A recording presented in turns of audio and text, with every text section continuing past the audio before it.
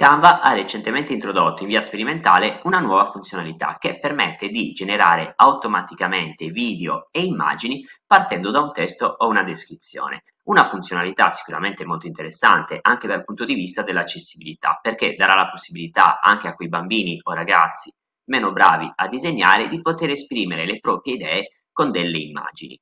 Proveremo adesso a generare una GIF di Halloween. Per farlo andiamo a cliccare in alto a destra su dimensione personalizzata e inseriremo come dimensione 1080 x 1080, quindi una proporzione quadrata che è quella standard per immagini e fotografie. Una volta effettuato l'accesso alla pagina di lavoro ci spostiamo a sinistra sul pannello degli strumenti e scorriamo verso il basso. Andiamo quindi a cliccare su Altro. Clicchiamo quindi sulla funzionalità Text to Image. A questo punto non ci resta che inserire la nostra descrizione.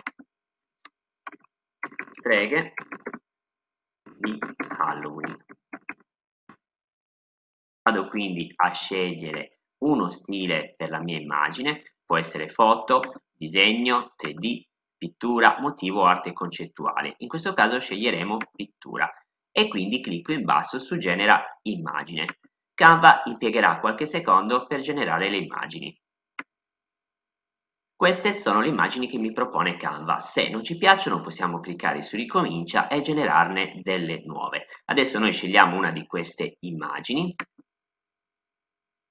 e andiamo ad adattarla al formato che abbiamo preparato. L'immagine si adatta perfettamente perché è quadrata esattamente come il formato che abbiamo scelto. Una volta inserita l'immagine inseriremo anche del testo. Ci spostiamo quindi di nuovo sul pannello degli strumenti, andiamo a cliccare su testo e digitiamo in alto su cerca testo Halloween. Canva ci fornirà una serie di stili adatti proprio a questa celebrazione. Molti sono a pagamento, ma ce ne sono alcuni gratuiti, come per esempio Jeepers. Quindi ci clicco e vado adesso a modificare il mio testo utilizzando la funzione di trascinamento e utilizzando anche l'editor di testo.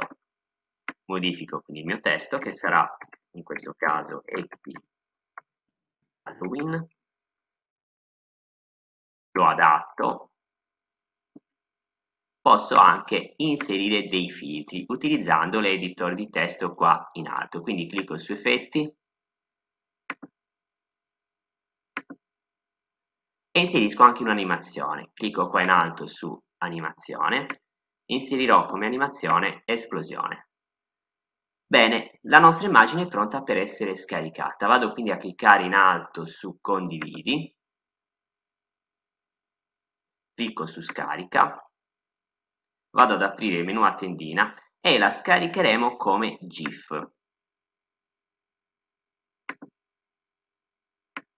Andiamo quindi ad aprire l'immagine che abbiamo scaricato. Questa è la nostra GIF.